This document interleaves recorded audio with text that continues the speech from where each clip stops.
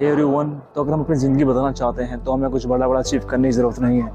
कोई बड़ा काम करने की ज़रूरत नहीं है। हमें सिर्फ़ छोटे छोटे काम में अचीव करना है। इसलिए आप जब भी सुबह डेली उठें, अपने लिए टारगेट फिक्स करें